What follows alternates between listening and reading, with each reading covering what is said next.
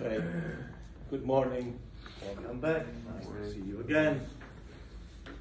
I wasn't able to provide a video recording of the first class because I wasn't familiar with the system and it, it doesn't really help us much. The quality of the video is not what you would expect. The, the, the angle is, is just on the podium. I don't want to be tied to the computer. So I'm trying to produce a recording as I've done with my classes during the last semester using my iPad Pro uh, with an angle that covers almost two thirds of the blackboard myself. Once I pull down the screen, the video will be visible, the video will be in high resolution, and I can simply download it from the iPad or directly from the iPad. I can upload it to YouTube and then provide a link. Of course, it, it, it, will be a private video. No one will be able to find it just by searching or just by going to my YouTube channel. Only you with the link would be able to see the video and at the end of the semester the videos would be removed, would be made private. Today I'm going to continue with my introduction of some core concepts in this class in reference to the notion of what is Machiavellianism how is the term Machiavellian interpreted? And how it could be otherwise interpreted if we look more closely at Machiavelli's ideology and the quote unquote system that he uh, illustrated in this original, creative, and somewhat odd little book that is the prince. We will do that with the help of a famous example borrowed from game theory called the prisoner's dilemma, which we will try to analyze in a Machiavellian framework. And then I will introduce a few more concepts. If there is time, I will also go back to the example of the garage is full and someone ignoring the sign to enter the garage, committing a minor act of cheating and examining that from a Machiavellian point of view because that example extends then to all kinds of behaviors that some might call Machiavellian or with a term that is synonym. And, and I'll provide some synonyms later. Uh, however, before we leave the classroom, I want also to take some time to show you the class website and discuss the syllabus, the great components, something that I couldn't do on Monday. So later I'll pull down the screen, the computer is already uh, in, in the website of the class and we will proceed from there, okay? So when we consider the term Machiavellian, which has become one of the most common, most popular terms if you look in the database of the New York Times, if you look if you Google the term Machiavellian, if you go inside Google Books and you put Machiavellian, you will find a very large number of hits, a very large number of articles, documents, pages of books where the term Machiavellian is used. However, we can say that there are two ways to translate the term Machiavellian the most popular way to interpret Machiavellian is thinking of adjectives to replace it, such as conniving, duplicitous, and especially manipulative. To the point where you find Machiavellian widely used also in the field of psychology or in the field of romantic relationships in reference to, of course, relationships that are not healthy, balanced, respectful of each other.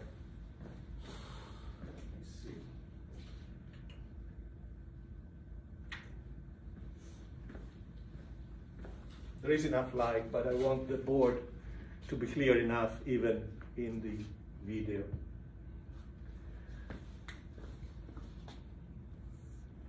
The other way, of course, would be in a selective environment such as this classroom within academia. Machiavellian could be defined as an idea, attitude, a behavior reflective of Machiavelli's own system. As I said before, system is way too modern a term and doesn't really reflect what you will find in the Prince because even though there is a clear structure, and in fact every chapter of the Prince has a title that represents a summary of the chapter itself, and the direction that the narrative is taking in that particular chapter, there is no system per se. If you want to understand the system that is included in the book, you really have to work on it and do a lot of interpretive work, interpretive analysis, in order to extrapolate what we would call a system or any kind of intellectual algorithm out of the pages of the book. And what is on the surface of the book is some recommendations that are often contradictory and a lot of examples which in themselves created the impression that we still retain in popular culture that Machiavelli was all about evil practices, practicing evil in the context of the political game. So keep that in mind and let's talk about the prisoner's dilemma.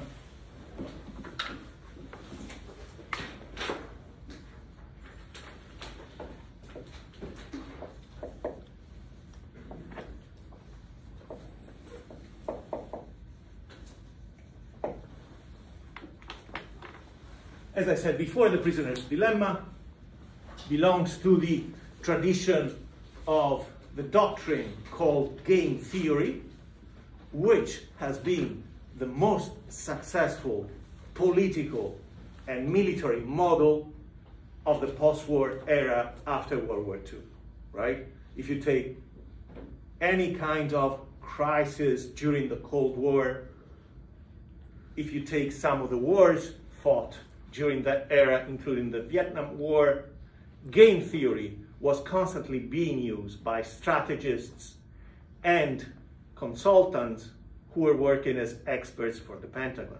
Yes, please. Uh, so, uh, like, uh, does is game theory like a product of the Rand Institute, where um, the prisoner's dilemma came out of, or the Rand Corporation? Is that what I think that's what it's called? Is it? I cannot answer that oh, question. Uh, the Rand I, Corporation I would need more information. Um, I haven't investigated the historical roots of game theory. My understanding it comes out of math experts um, such as Nash, for example. Nash wrote in his early 20s an article that was considered the foundation of game theory and the economy. I couldn't add any more details. Maybe you know more than I do, and you, you can tell us if you want. Oh, no, I, you, you told me more than I knew proceed. there. Stony Brook has a, uh, center for game theory. I'm sorry? Stony Brook has a center for game theory. Of course. No, no, no. It's, it's vital anytime you want to predict the outcome of a complex situation, examining all possible variations. Okay? And this is a simplified context that allows a student of game theory to understand the basic principles. Okay? So let's start with, oh, by the way, besides game theory, you can also find this applied to the study of psychology with reference to the theme of cooperative or collaborative behavior as opposed to any kind of individualism, everyone for himself. That is to say, do we as humans have an innate tendency or an acquired tendency to collaborate with each other, cooperate with each other, including strangers, or we do that only when subjected to certain circumstances, to certain rules, and to the enforcement of those rules. That is to say, we behave in a collaborative way if we are in a classroom, if we're on the road, if we are in a restaurant, but if you remove any kind of rules or boundaries, then you might find yourself fighting each other okay, to obtain whatever you want. That's another issue that can be applied to the study of this example.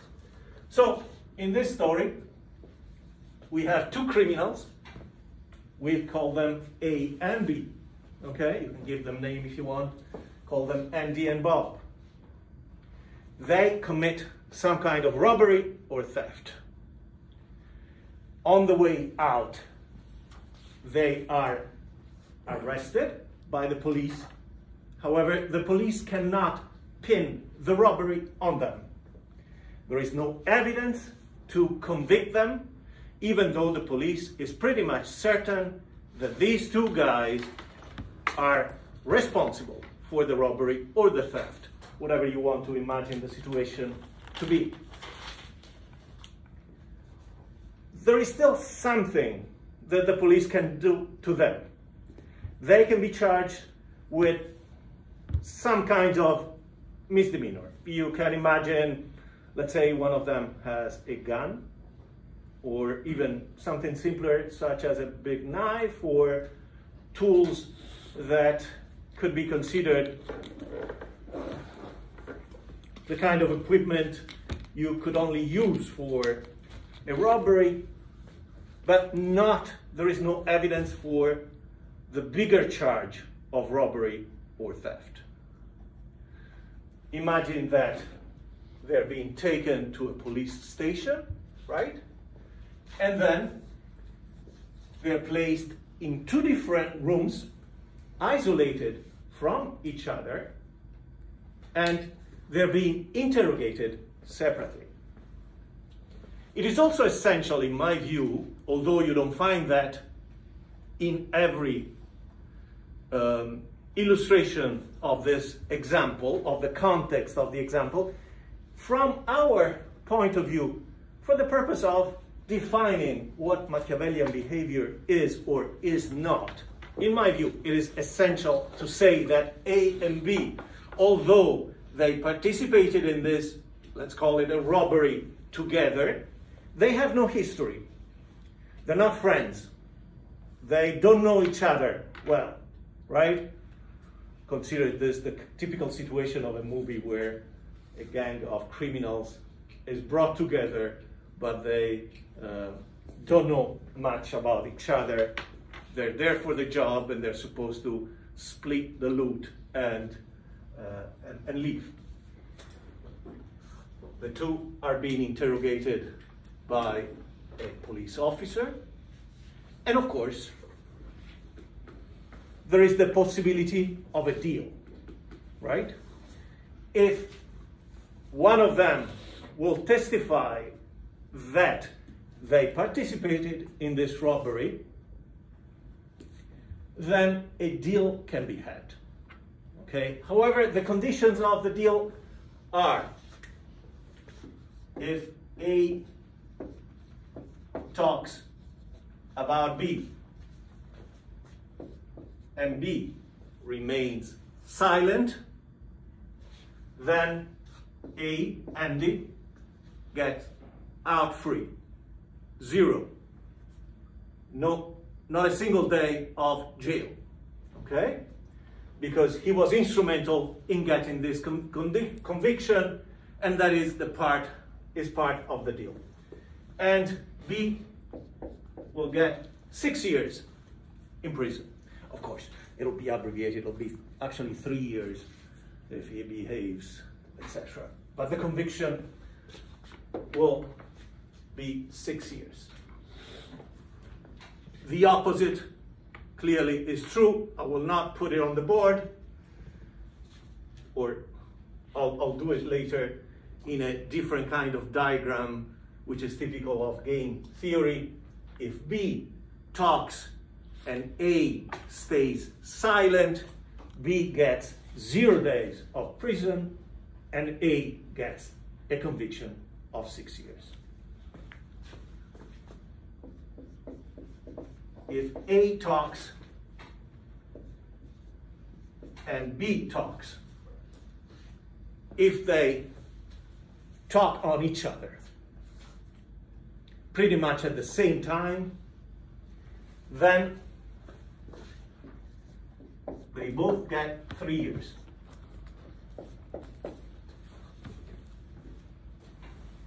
Not much of an advantage there. Finally,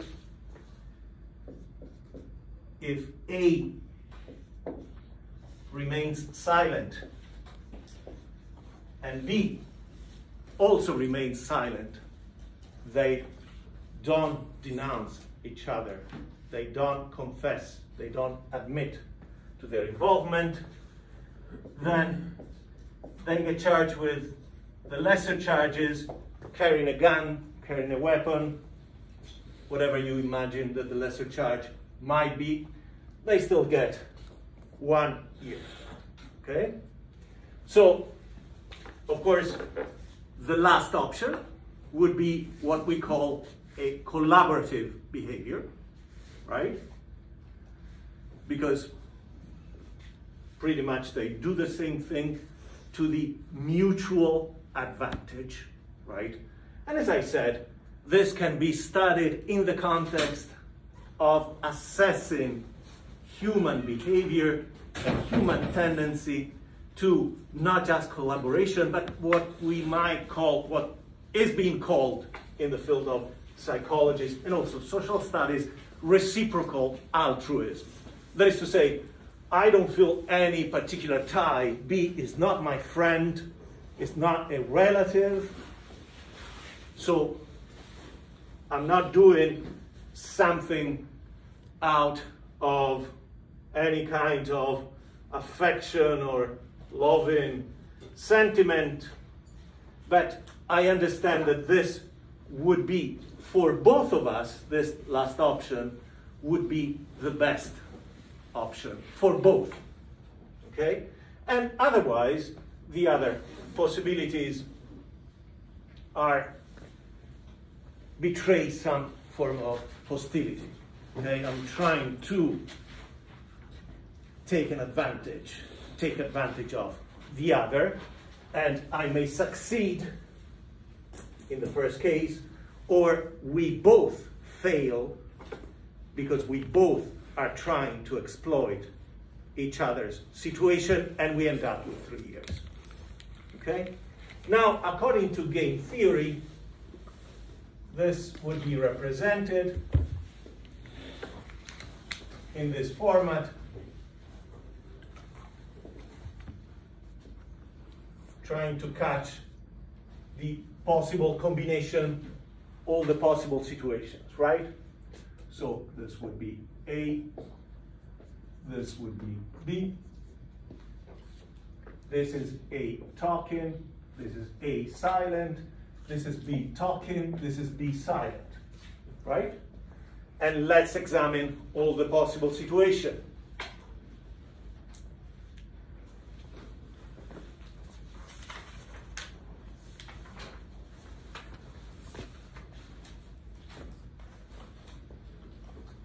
So,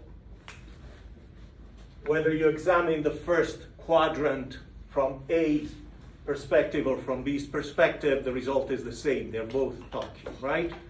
So this would be three years of jail for each one of them. If A stays silent and um, B is talking, that would be six years for A, vice versa would be zero for, for B, for, for Bob, okay? Because he has been talking and A has been silent. This would be the opposite, zero and six, and this would be where they get one ear each, okay? So I'm trying to combine and see all the possibilities. The purpose of this would be, of this matrix, would be to try to predict the outcome of the situation or find the best route towards an acceptable, a positive outcome. Any questions to begin with? I hope my explanation was clear enough, but I can go back and explain either the situation or the quadrant. In the classroom notes that you will find on the class website, we will also find a link to the Wikipedia article on this, which is plenty clear and perfectly accurate. And then, of course, you can find more if you want to explore on your own and just Google prisoner's dilemma. You will find anything from serious articles to variations in terms of the application of this kind of model. So any questions about the story and the analysis of the story? Any considerations about whether or not this is Machiavellian and in what ways we could call it Machiavellian? Please. Uh, it's, I guess it's Machiavellian in the sense that it's commentating that both prisoners are trying to decide would the other one rat it out? How much faith do I have in my accomplice that they won't rat me out?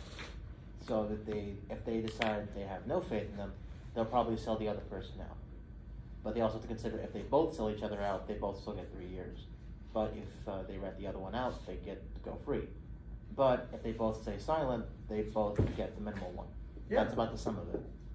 I like the term faith or confidence. You also mentioned Yeah, that, so really that, that you use, right? Because honor it is one of the key terms in this kind of situation, analyzed from a Machiavellian point of view. After all, don't forget that Machiavelli was a humanist. He lived in the period called the Italian Renaissance, and his education was the education of like a humanist, right? His his culture was the authentic form of the humanities. So it, it's a both uh, whether you use the term faith in each other or confidence in each other, both terms resonate intellectually with the mindset of someone from that period, late 1400s, early 1500s, such as Machiavelli. And in reference to faith, to confidence in the goodness of the human soul, you do find plenty of interesting references in The Prince, and of course, Machiavelli's uh, position on this is pretty clear. Machiavelli himself says you cannot have any faith in the goodness of the others.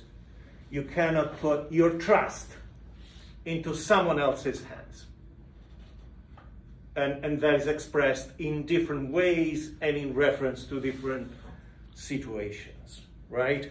So, from this point of view, any one of those two criminals betraying the other would just be a verification of Machiavelli's law that you cannot have faith in humanity in general. And therefore, when it comes to someone who's a stranger to you, someone you don't know, you cannot really trust them, according to him. Okay? Feel free to. Of course, I'm not here to preach Machiavelli's ideology uh, or, or to, to impose it on you. I'm just here to illustrate it. Okay? So feel free to disagree, and, and I would like that. From that point of view, I, I want to, to have a positive view of life and society. Any other? Yes. With the better takeaway, don't do crimes with strangers. well, in life, you do a lot of things with strangers, Mm-hmm. don't you? Yeah, it's unavoidable. but yeah, sure, yeah. Any other reflections, anything that comes to mind? And again, feel free to express your personal reactions.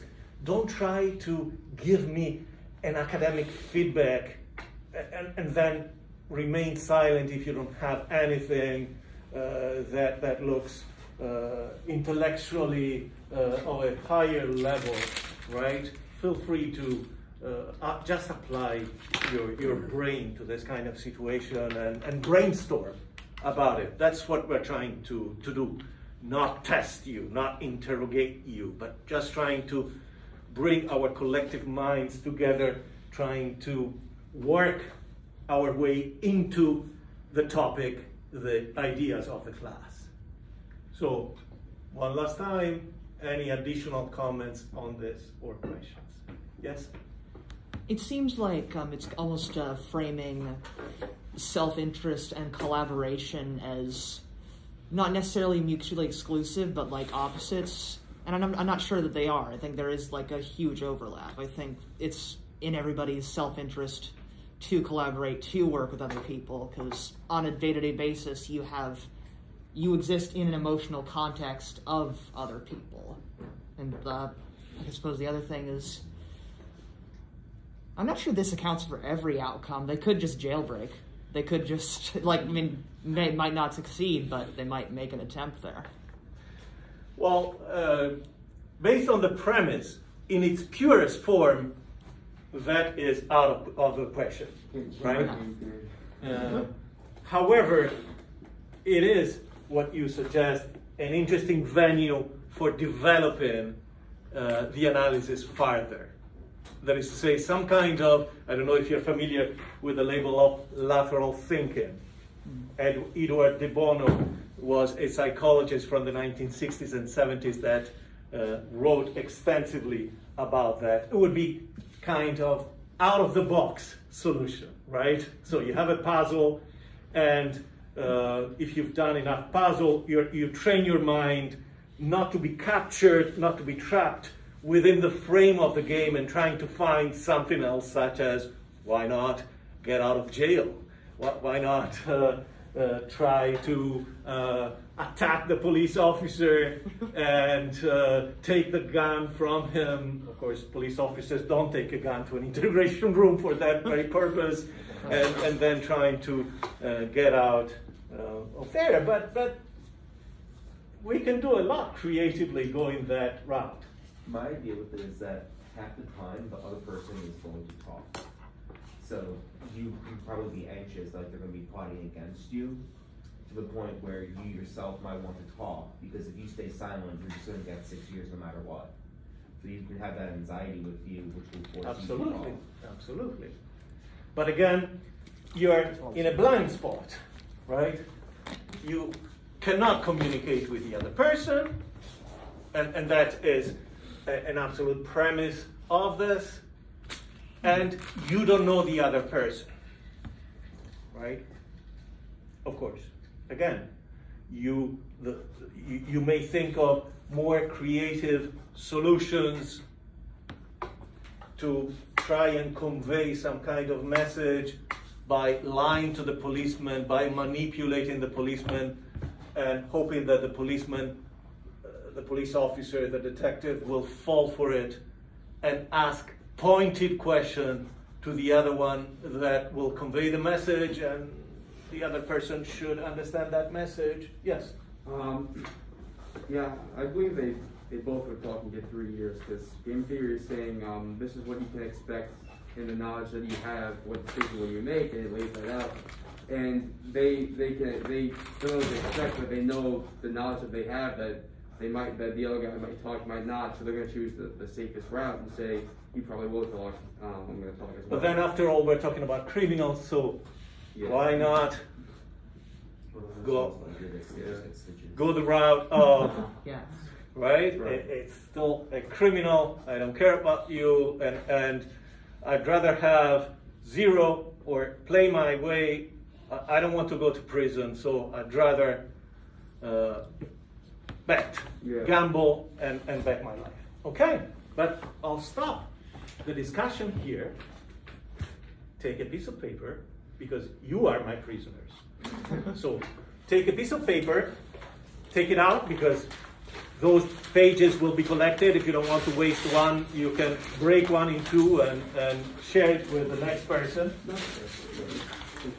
Okay? And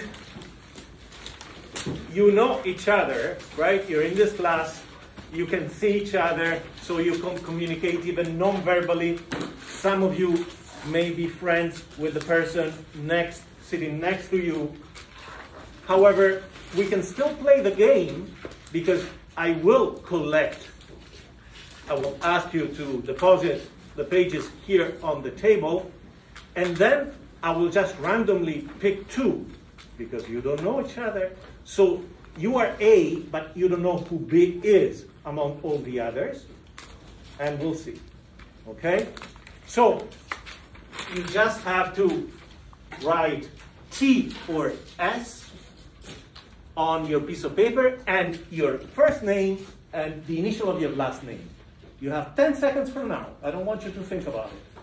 First name, initial, and then T or S. Talk or stay silent. And then fold the page and bring it to the front of the class. Put it here on the table. So, come on. Okay, that's everyone. Okay.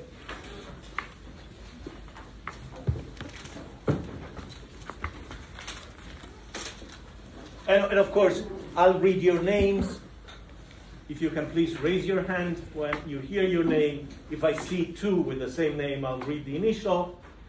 If I uh, mispronounce your name, please correct me. Okay? So I have Edmund. Who's Edmund? Okay. Yeah. And Hed- Edmund is. What do you write? Oh, I said talk. Talk. Instead. Edmund is talking. Yeah, I'm sorry. Okay. Let's see what his gonna be talk too. accomplice has decided to do. Allison. Yes. What did you write? Stay silent. So, what happens to you, Allison? Um, I say six years. Six years? Okay. And No years. Zero. Okay, six years for you, zero for you. Of course, this is meaningless to you, right? It's just a fictional game. My ideal setup for this game would be to attach to the result of this assignments. Zero assignments, or let's say, copy in pen six chapters of the Prince and bring it to class. Because then it would have some it would feel more real. Haven't done this. I I don't think students would take it well. Of course, at the end, I would say it was just a game, a simulation. You don't have to do Better any be. It'd be better assignments. be more in the line. But, uh, be honest. There's, yeah, there's a panopticon. So keep in mind, if you can please keep in mind, or actually, can you write down your uh, uh, penance?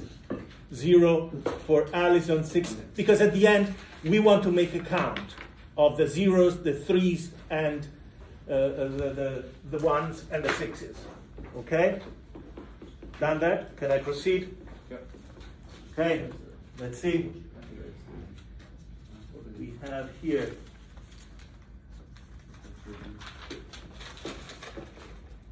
Okay, we have Kara. Kara? Yes. And what did you decide to do in this situation? Silent.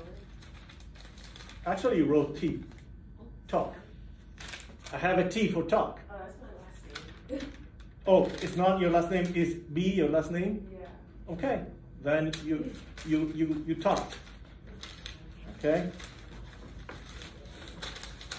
And we have here Annalisa. Yes. What did you do? Okay. So what happens to you? Yeah, both three years. So write down three for the final count. So you opted for the collaborative behavior, right?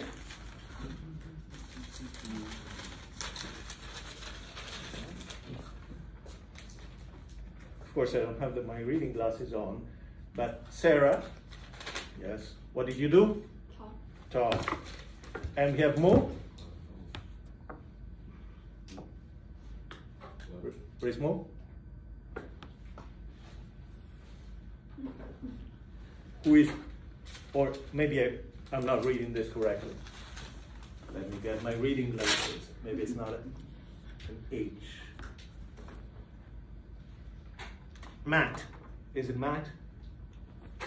That I should be reading? Yes? Okay. What did you do, Matt? Stay silent. So Sarah talked, you stayed silent. You get? Okay. And where is Sarah? Yes. You? Zero. Zero. Okay. Write it down.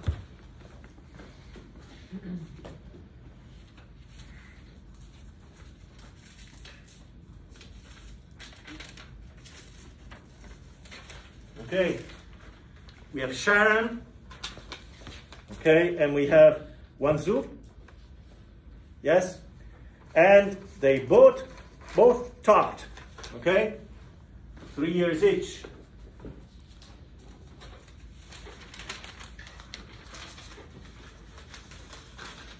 We have Christine and we have Notion.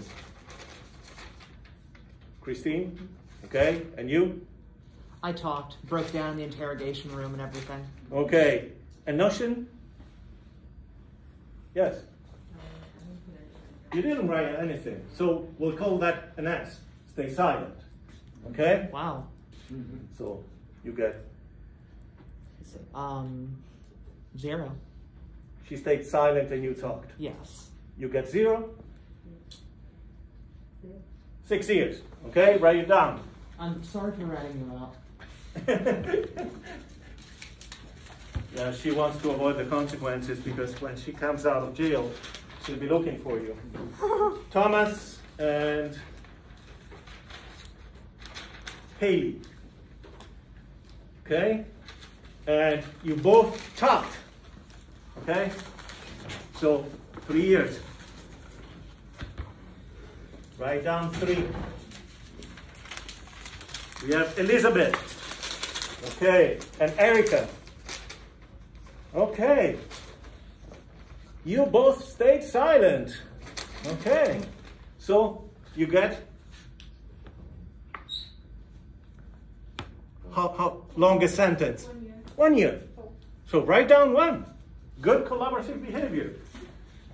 You've got only one year each. We have John and we have Caitlin. Okay? And you both talked. So put down a three. Three year sentence is what you get. Coming to the end. We have Sharon. Sharon. That's my name. Oh, and I'm not sure I can read this. Uh, it begins with an A. Me. Orchard. Yes, I think so. And we have two T's. So three is what you get. Three years.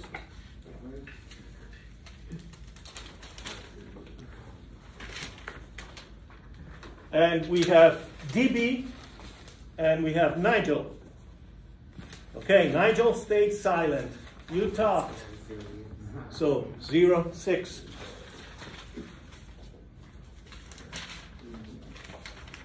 Veronica and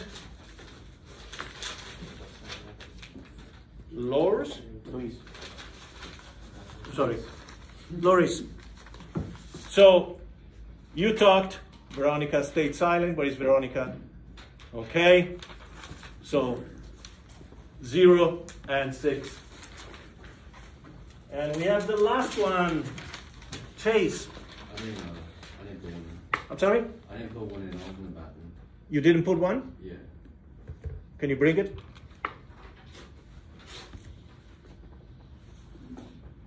So we have a finish because we have the last couple of criminals.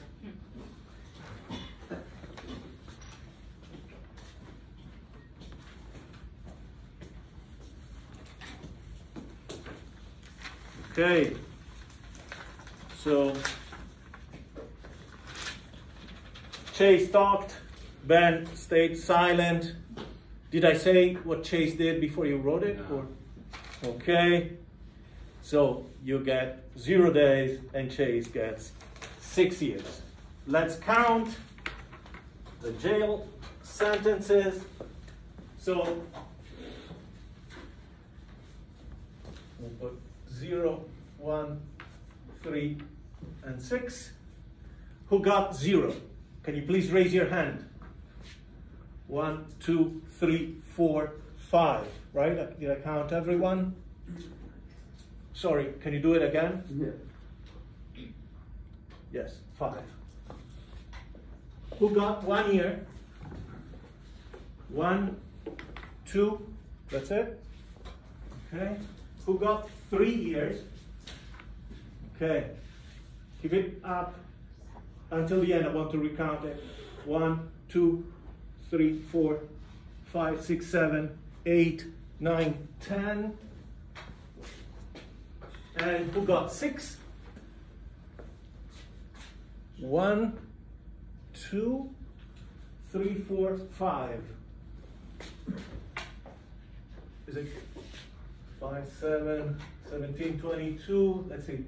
3, 6, 10, 13, 16, 18, 20, 23. So someone didn't, or either I miscount, miscounted or someone didn't participate because I have one less, one fewer.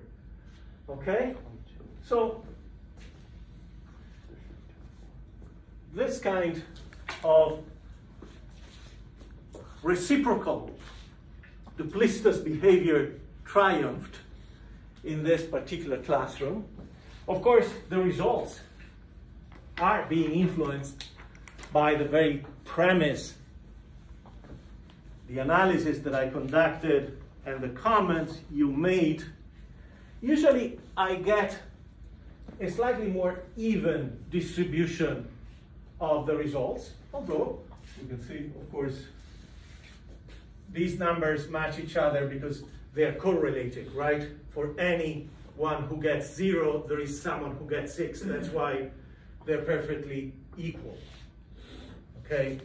And so we have 10 person in that kind of situation where one stayed silent and the other talked, and 10 person on the reciprocal hostile situation, and only two who collaborated. Usually it's a little more, it's, it's a few more, but it's, it's nice to, to see this. Okay?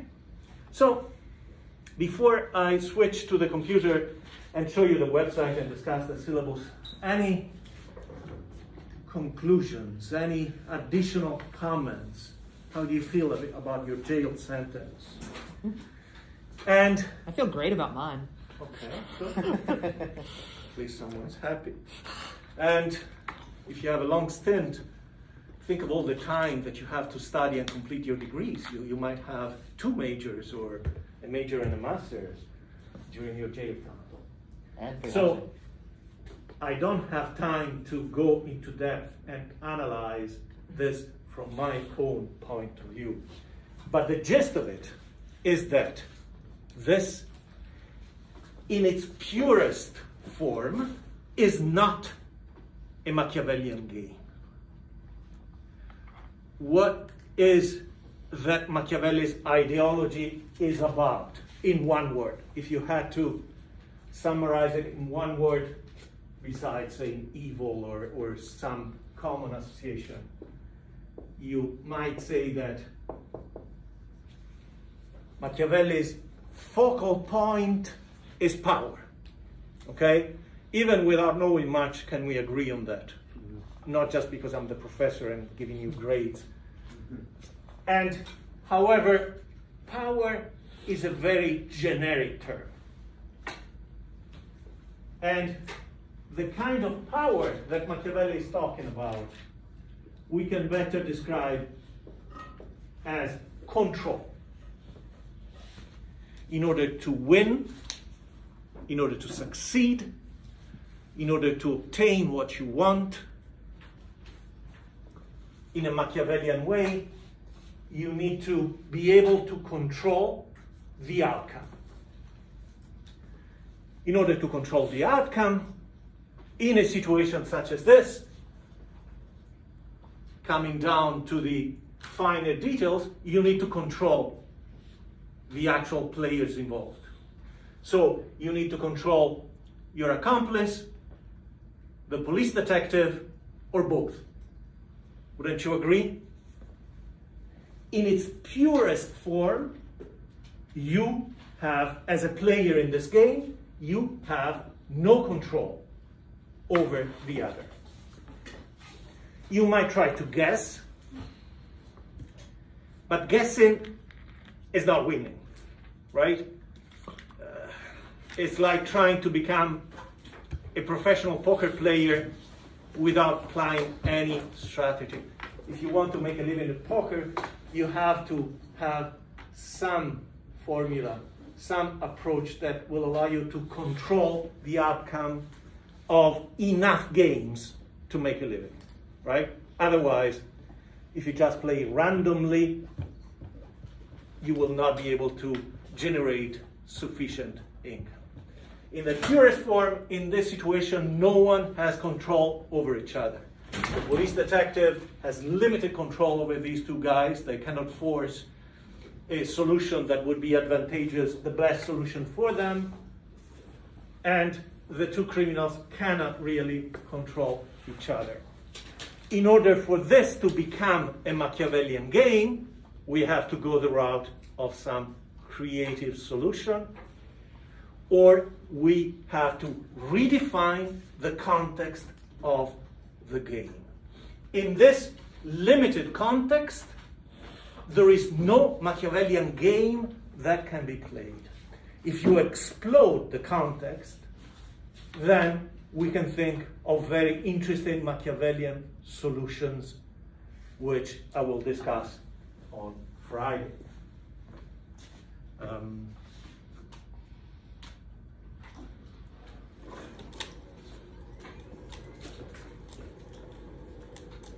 I don't know if you were here, all of you, on Monday, but if not, keep in mind that the class website is a wiki that resides on my personal domain at andreafedi.com slash Mac with a K because it feels more evil with a K, M-A-K, or you can just type andreafedi.com slash CLT362 and you will be redirected to this place. This is the format that the class would have on a large screen. However, and the class is open, uh, uh, no login is required. However, if you are on a phone or any kind of smaller screen, this is what you will see. A vertical, it resizes based on the size of the screen. So it's very readable and touch friendly and you don't need an app, okay? So what you had on the sidebar before, now the sidebar has become vertical with all the links and the text follows. So this would be the portal.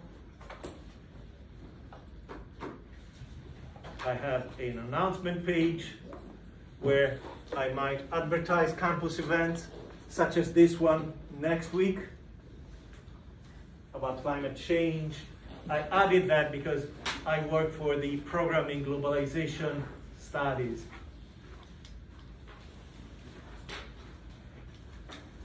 I informed you that you could find images of the board and a digital recording, audio only of the class.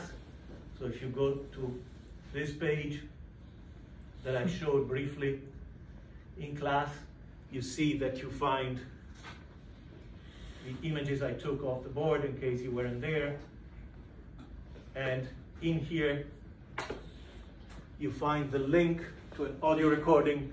This audio file is stored on Google Drive and you will need an, a Stony Brook login in order to be able to either listen to the file inside the browser or download the file and then use a different program or a different device. Different device.